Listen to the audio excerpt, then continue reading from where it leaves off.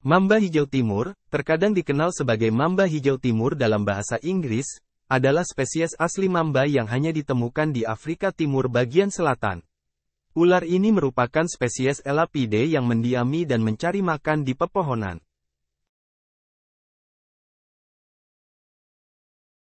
Ular ini berukuran besar dengan tubuh yang sangat ramping dan ekor yang panjang dan runcing.